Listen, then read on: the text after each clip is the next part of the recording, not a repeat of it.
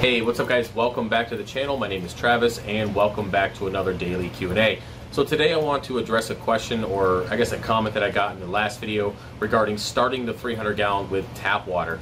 Now, uh, I'm going to go into some pros and cons on why you might consider doing it and some things to think about if you decide, you know, that that might be something you want to do. Now, first things first, why would you want to start a tank with tap water? Well, if you have a 300 gallon tank, do you really want to run an RO filter for 300 gallons of RODI water? Uh, depending on your setup, I know that I run dual membrane, so I kind of cut my wastewater in half, but generally it's like four gallons or three-ish gallons uh, to every one gallon of RO water. So you're using a lot of water. So do the math, you know, 300 gallons, so on, so on, so on. So you're, you're using a ton of water just to fill this tank up when, uh, depending on how you set it up and kind of if you've cured your rock or not, it's probably not necessary to waste all that water. And that's exactly what I was thinking when I set this up. The rock was already cured for three months, and I was thinking, you know, hey, it's tap water. I'm going to fill it up, get it filled up relatively quickly, get the salt in there, not only to uh, you know get it done cheaper and quicker, but also because I want to save the beneficial bacteria that's currently in the in the rock. As I mentioned in the previous video, I I cured that stuff. I I cured it and then I aquascaped outside the tank and put it in there. So of course I want it to fill up relatively quickly to kind of save that uh, bacteria from dying off.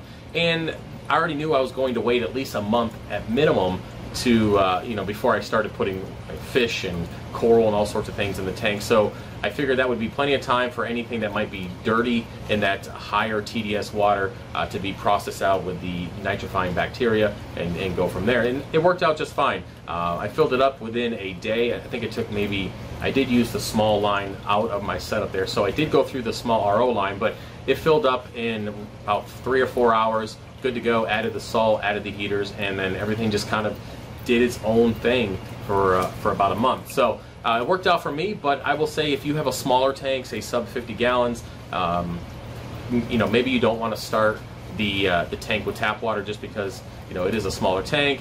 Uh, you could possibly just wait for the RO system to do its thing and to fill it up over time. Again, that's going to be on you and what you want to decide, but uh, that was kind of my reasoning behind doing it, so hopefully you guys understand. Now, when it comes to some pros, as I mentioned before, uh, it fills up quicker. Um, if you have relatively clean water, I do have city water here. It, it's usually under 300 TDS. I know that things can fluctuate depending on the season, uh, just because that's just, the type of water I have. Um, so if you have relatively low TDS, uh, then you should be good to go. But if you're upwards of like 600, 800, some of you guys are saying you had really, really high, almost 900-ish TDS water. I mean, I don't know what you got going on. I mean, it's your city, your well water. But uh, either way, uh, starting that stuff with lower TDS water, I don't feel is going to be an issue as long as you have uh, you know beneficial bacteria, cured rock, and all that kind of stuff that can process those extra nutrients out relatively quickly. Now, of course, adding carbon and, and a skimmer and having all that stuff going helps remove out anything that might be in the water. Um, so that's always something to consider doing as well. So that's kind of my overall thought process when it comes to using tap water. I think if if you are uh, I wouldn't say in a rush, but if you have a larger system, I think it's totally okay to start with that as long as you do what I mentioned before, curing your rock, you know, maybe consider using carbon, skimmer, all that kind of stuff. Just making sure you have uh, the systems in place so that that, that dirty water uh, doesn't negatively impact your setup. So um, other than that, I really can't think of anything that would be negative.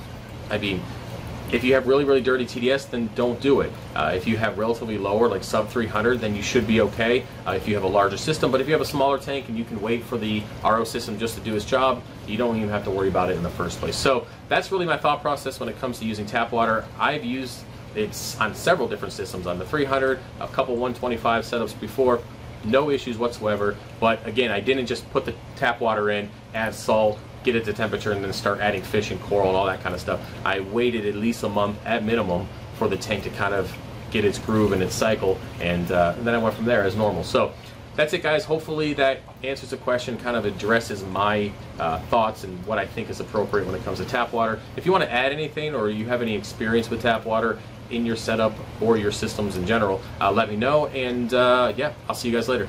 Peace.